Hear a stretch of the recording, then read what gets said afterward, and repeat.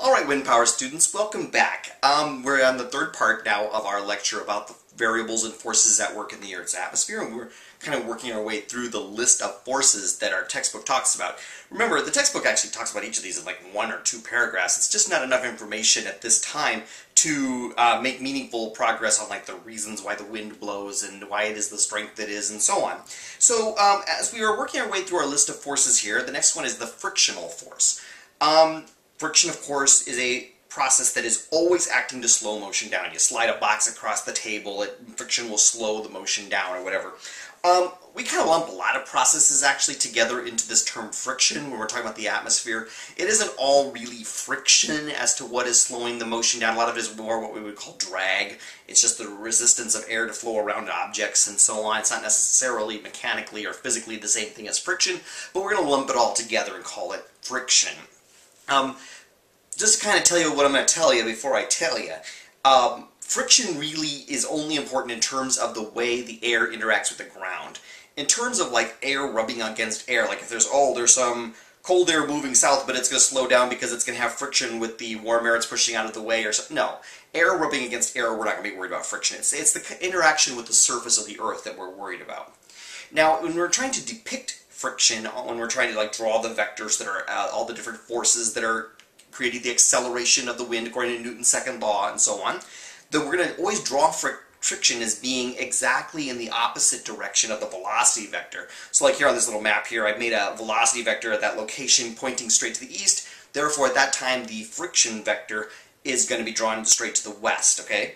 Now, I'm, that doesn't yet tell you anything about like the relative magnitude of the friction, but at least we always know its direction is indicated as being like opposite the motion. Friction doesn't make things turn to the left or to the right, it just slows down their motion. Now, your book provides a somewhat helpful way of mathematically expressing friction, where they're saying the friction vector, F vector, could be thought of as just negative a times the velocity vector, v vector. And I guess that would be one way to think about it. I mean, the negative sign means that it's going to be pointing in the opposite direction, and a is some kind of friction parameter to use the terminology of your book. And I have never seen it written that way before because, I mean, the reality is friction depends on a lot of things. You can't just kind of say, oh, and the friction parameter is 0.3. No, it doesn't work that way. I mean, it's going to depend on lots of stuff, like the roughness of the underlying surface. Since friction is going to principally be about how air is interacting with the surface of the Earth underneath it, well, roughness matters as to how much friction there's going to be. If the air is flowing over, say, a relatively smooth lake, there's going to be less friction than, say, if it is flowing over a city where there's buildings and billboards and power lines and trees and so on that are all acting to create friction with the surface. Um, in general, even like over the ocean where there's waves, the friction and the roughness of the surface is going to be less than, say, over land. In general, land has things like hills and trees and power lines and billboards and all terrain and all kinds of stuff that is going to be acting to slow the wind down more than you're going to see over land. I'm sorry, over the ocean. Um, but okay, that so like that's something that would go into that friction parameter A. Um, another one would be the altitude above the ground. Friction doesn't just affect the air literally touching the ground. As we're going to learn over the course of the semester, that friction, that slowing down the wind, is actually communicated upward. You know, air 100 meters above the ground is experiencing friction with the surface even though it's not touching the surface. That's one of the ways we can tell that this idea of friction is sort of more an idea. Clearly, somehow or other, turbulence and aerodynamic drag and so on are all going to be kind of folded into this idea of friction as a force that's slowing the air down. But the farther and farther you get up above the ground, the less you have to care about friction at all. In fact, once you get up above the top of the boundary layer and up into the free atmosphere, we don't worry about friction at all. In fact, that's a that's a bug, that's a feature. We're going to be able to describe the winds above the top of the boundary layer without friction, and that's going to turn out to be a simpler way that'll give us insights into what the wind is doing, but we'll get there. Now I wrote here as our third bulleted point that another thing that would be hidden inside of that A, I wrote here it's the stability of the atmosphere between the surface and the given altitude we're trying to figure out the amount of friction.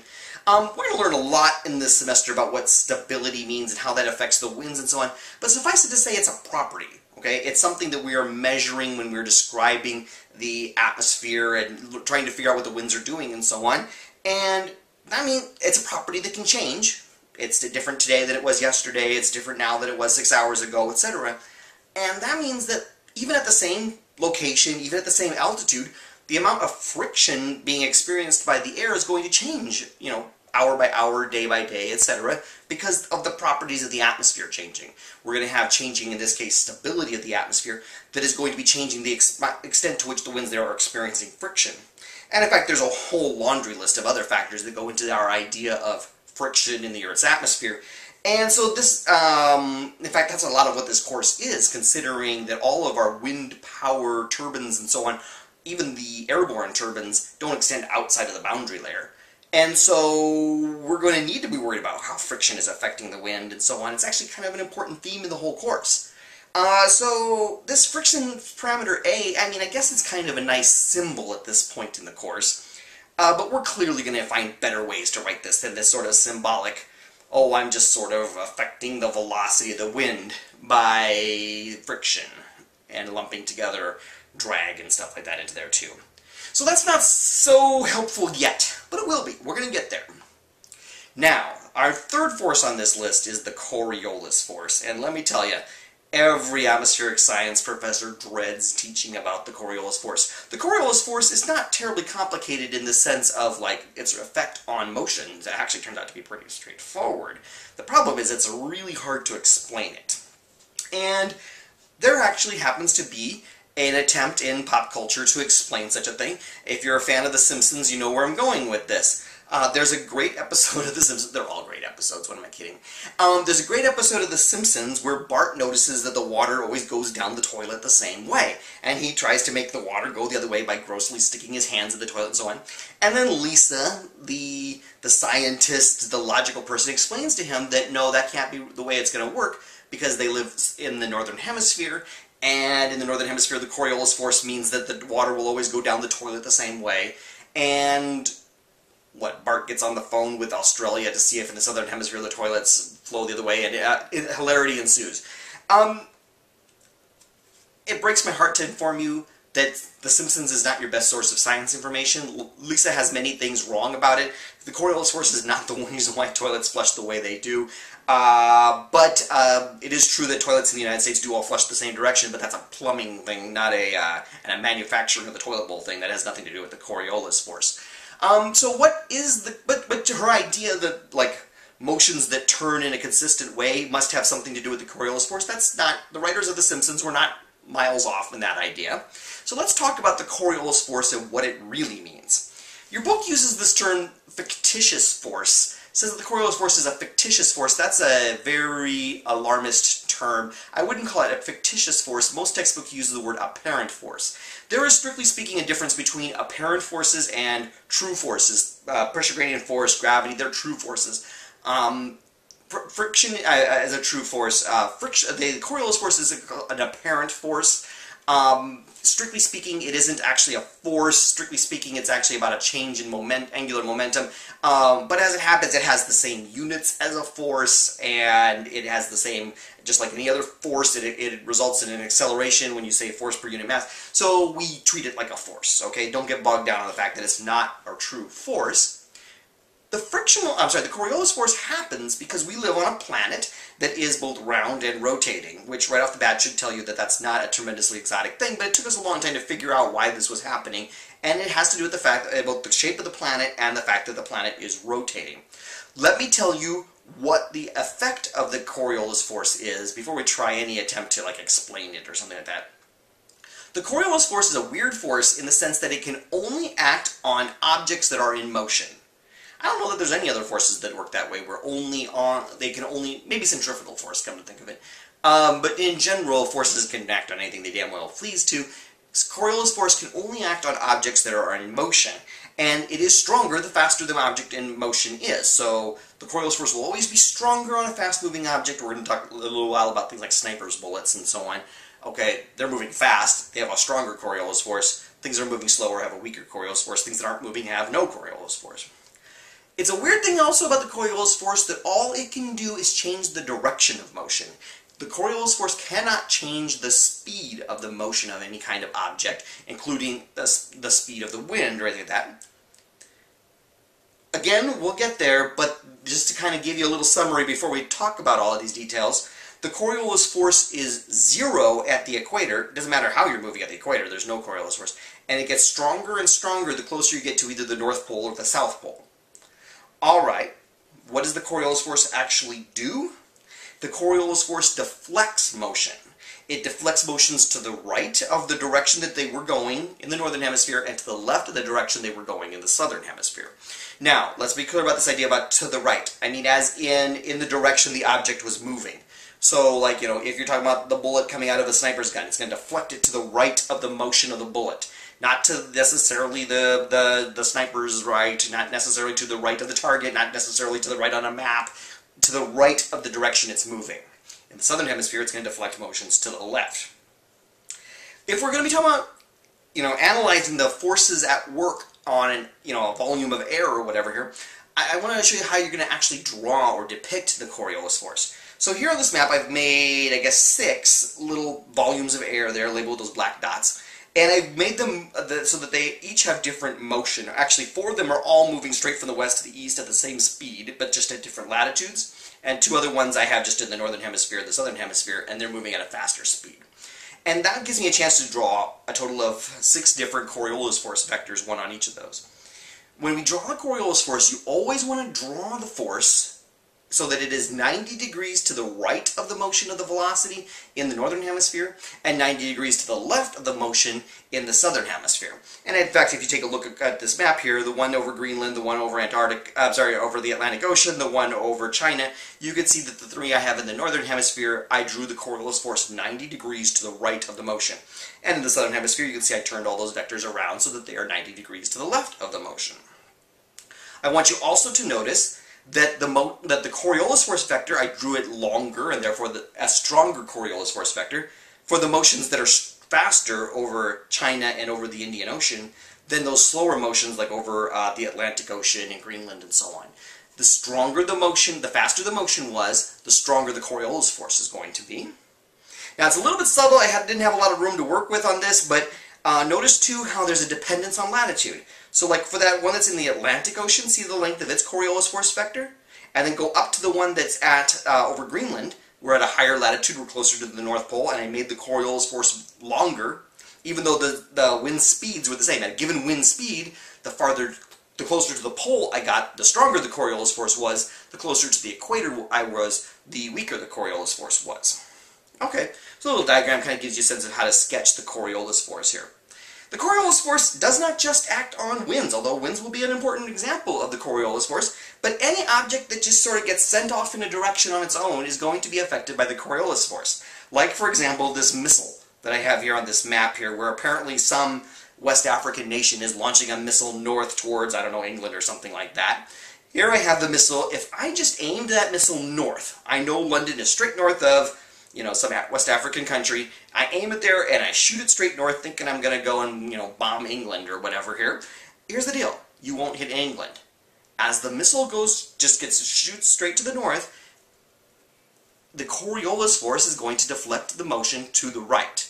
Not to the right of the page, although in this case it happens to be, not to the right of the person doing the shooting or anything like that, to the right of its motion. So the missile's motion is going this way, it'll get deflected off to the right, and in fact the missile will end up blowing up somewhere. I, in this case I just sort of drew it like Eastern Europe instead, completely missing its target. Any motion is deflected by the Coriolis force. In fact, by the way, if you if the motion just continues, if you don't do anything to, you know, if that missile just had plenty of rocket fuel and just kept going and going and going, it would make a big circle. And that's actually like an interesting phenomenon, and the amount of time it would take to make that big circle is an interesting phenomenon, and so on. All of which I would love to teach you in Atmospheric Dynamics 1 and Atmospheric Dynamics 2, but we're not going to go that way eh, in this class. But the shape of that, it would make a circle, and in fact, if at any point along the way you thought about it, you put the rocket at some location on that path and said, oh, its direction is this way, I see the Coriolis force is 90 degrees to the right, so it's going to get deflected to its right, and you'd see how it makes a circular path over the flight of that rocket. Okay, um, the same would be true of in the atmosphere. If you just pushed a volume of air and no other forces were acting on it, the volume of air would move in a big circle too. In practice, that never happens. The atmosphere is not that undisturbed. There'd be other things going on. But it does happen in the ocean. If some process displaces some volume of water and you somehow can track that volume of water, like you have a drifting buoy floating in it or something like that, the water will make a little circular path over a course of, you know, um, a period of time. Again, the amount of time is called a pendulum day. We'll worry about that some other day if we ever need to. Wow, we got this weird Coriolis force out there. How come we don't discover this? Uh, how come we don't notice this in our day-to-day -day lives? Coriolis force was discovered by, uh, well, was mathematically explained by Gustav Coriolis uh, in the mid-19th century. Um, if you drift around on the internet, you'll find out that this was discovered based on the Napoleonic Wars and how cannons were shooting. And in fact, that's all apocryphal. None of that actually happened. Uh, the Coriolis force was actually uh, early understanding of it was actually even before the Napoleonic Wars, and, Cor and Gustav Coriolis' uh, explanation has nothing to do with cannons and so on, despite the fact that even I've used that story in, in like intro classes before. But in our day-to-day -day life, we don't tend to notice the Coriolis force. Um, I mean, how come I don't notice when I throw a paper airplane that it curves off to the right? Or when I hit a baseball that it curved off to the right, or something like that? Um, the Coriolis force is not going to be responsible for why the ball went out into right field, or why uh, when you uh, played golf you sliced it off to one side, or something like that. See, here's the deal. Most of the motions in her day-to-day -day life aren't really all that fast. Okay? When you hit the golf ball, it's not really going all that fast. When you shoot the basketball, it's not really going all that fast. And remember, the magnitude of the Coriolis force depends on the speed. So if the object isn't really moving all that fast, the Coriolis force exists, but it's not really all that much of an acceleration. So it isn't actually changing the velocity all that much per second. And how many seconds is the ball in the air when you shoot for the hoop? There just isn't time for there to add up to enough of a Coriolis force for you to notice. It's real, it's a problem that they do in Atmospheric Dynamics 1, where they actually compute like how far did the basketball move, and the one second it was in the air, how far to the right of where it was originally going was it going. It's like, you know, fractions of a millimeter. You just wouldn't notice it, okay? So an object would have to actually be in motion for a really long time for this small Coriolis force to actually add up to enough that you could notice. If you're talking about a relatively slow motion, like the wind, the object is going to have to be in, you know, that volume of air is going to have to be in motion for a long period of time before this makes a, a, a, enough of a deflection that you notice it. Well, fortunately, the air is just in motion all the time. I mean, we'll be able to notice it because, I mean, it, it has all the time in the world to act on the Coriolis, have the Coriolis force act on it. Now, what about relatively high speeds and objects that are moving relatively fast? And the example that is classically used on something like this is like a sniper's bullet. Imagine a sniper is, say, a thousand meters from his target and he fires the bullet. Well, the bullet is moving pretty fast, and speed is one of the factors that determines the magnitude of the Coriolis force, so there's going to be a relatively large Coriolis force acting on, say, that bullet. Um, okay, great. Same with, like, the missile that we were talking about earlier and so on. On the other hand, just how long is this bullet going to be in the air?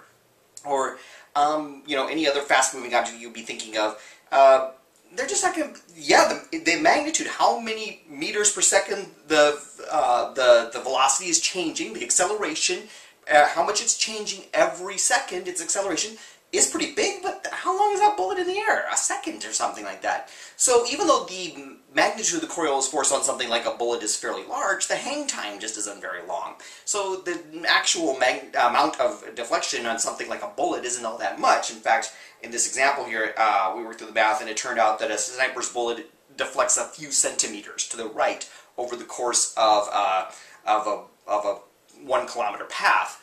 Um, so it takes something, you know, if it's moving fast, it's going to have to be in the in motion a long time.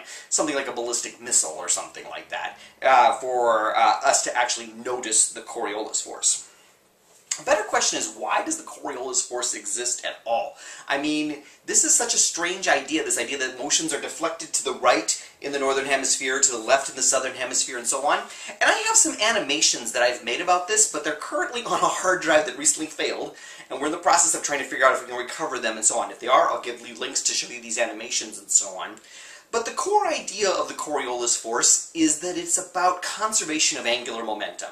Now, when you were like in high school uh, physics classes and things like that, you learned about conservation of angular momentum using like a like a spinning chair or something like that, where like they had these demonstrations where uh, maybe a student had some books way out, uh, from side to side like this. Uh, uh, they sat on the spinning chair and they made them spin slowly like this, and then they pulled their hands in, and they would spin more rapidly. That's called conservation of angular momentum. You know, like for example, when you watch the Winter Olympics and the ice skaters are doing, you know, if they put their hands out, they spin slowly. If they pull their hands in, they spin rapidly. That is actually behind the scenes of what's really going on in the Coriolis force. It's part of the reason why it's not a true force, it's an apparent force, because it's not really about a force, it's about changing the angular momentum. How that results in a deflection to the right is very complicated to explain, but I can give you an example to think through that will kind of, oh, I guess I wouldn't have thought about that. Let's say I was standing at the North Pole, and I am a fisherman. If I am standing at the North Pole, I am currently turning. I am going around the axis of the Earth once every 24 hours. Now I'm going to try to catch a fish, and the fish is, well, I guess by definition, south of me if I'm at the North Pole, right? I'm going to cast my line, and I'm going to catch that fish. Now that fish is right now not moving. He's just there in the water too. He's not here at the North Pole with me, and he is going around the axis of the Earth once every 24 hours just like I am. Okay? If, if I catch that fish and start reeling him in, as I pull him closer and closer to me, it's just like the figure skater pulling her hands in. It's just like the demonstration you saw in high school where you were spinning. He's going to start just like the, the, those things were spinning faster, that fish is going to start going faster around the axis of the Earth than he was before. As I reel that fish in, he's going to be going faster and faster and faster around the axis of the Earth. It's no longer going to take him 24 hours to go around the axis of the Earth. I mean, I'm picturing here, I'm not like just casting a line here. Imagine I can really cast that thing and I've cast it, you know, hundreds of miles or thousands of miles to the south or something like that. Okay, so I'm bringing this fish in across lots of latitude lines. All right, so isn't that odd though? I mean, I would have thought that that fish would get pulled straight up a meridian, straight up a longitude line, from where he is straight up toward me. But in fact, the fish is getting, as he goes faster and faster around the earth, he's getting pulled. And in fact, if you work through thinking through it from the point of view of the fish, he's getting pulled to the right, right? It seemed like he would come straight up the latitude line, but because he gets all the way around the earth and more in 24 hours than we did, then he is getting pulled, you know, every time he goes around the axis of the Earth, he's a little farther to the right than he was before. Alright, so it's kind of a hard thing to think through, and again, we have some animations that if I can get that hard drive fixed, I'll put up for you. But the idea here is that it's about this idea about how over long motions, over long periods of time, result in these changes in uh, conservation of angular momentum that act like a force. It's not exactly the same thing as a force, um, but it has the same units of a force and so on. It results in a change in acceleration and so on. And so we treat it like a force. But it gives physics majors chest pains because they know it's not a real force. Alright, mathematically, how would we talk about this all mathematically? Now your book actually bothers to put there a very mathematical vector definition of the Coriolis force, where the Coriolis force is negative f k hat cross v. Now, depending on what math and physics classes you've had stuff like that, that might just scare the crap out of you. But let's think this through here. This f is a number called the Coriolis parameter. It's just 2 omega sine phi, where omega is the rotation rate of the Earth, and sine of phi, phi is the latitude of the Earth. So this is just a variable that kind of scales. Uh, it'll be f is 0 at the equator. It's as big as it's going to get at the North Pole. It's as big and negative as it's going to get at the South Pole, etc. It's, it's a number that appears all over the place in atmospheric sciences. Uh, but in this case, it's relating to the strength of the Coriolis force.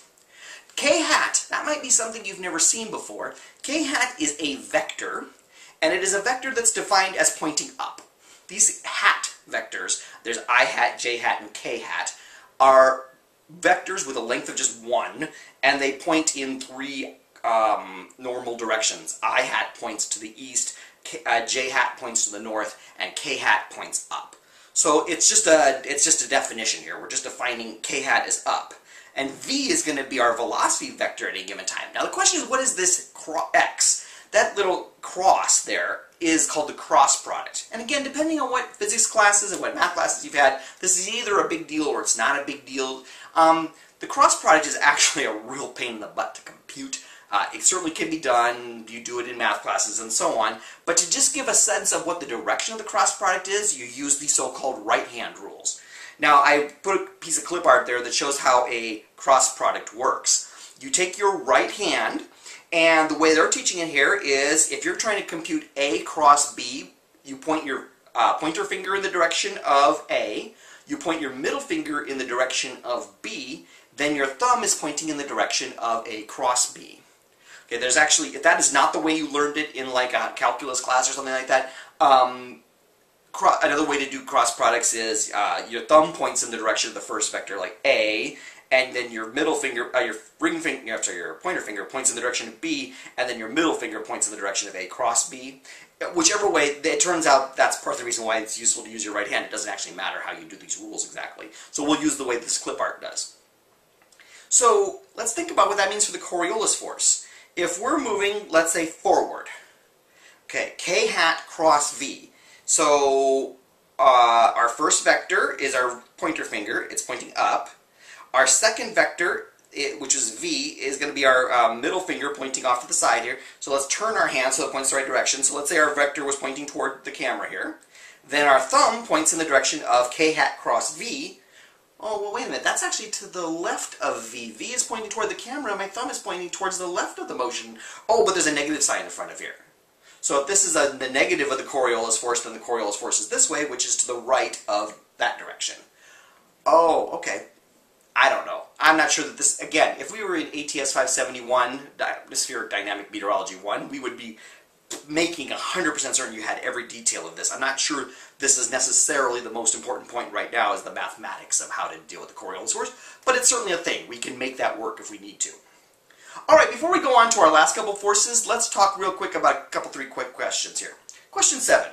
At a given wind speed, the Coriolis force will be stronger, A, at higher latitudes than at lower latitudes, B, at lower, I'm sorry, altitudes rather, A, at higher altitudes than at lower altitudes, B, at lower altitudes than at higher altitudes, C, at higher latitudes than at lower latitudes, or D, at, at lower latitudes than at higher latitudes. Oh my, what a tangled question. At a given wind speed is the key though to the question there. Which of those is the right option to explain at a given wind speed when the Coriolis force will be strongest? Alright, make a choice from those four options, get a little feedback before you move on to question 8.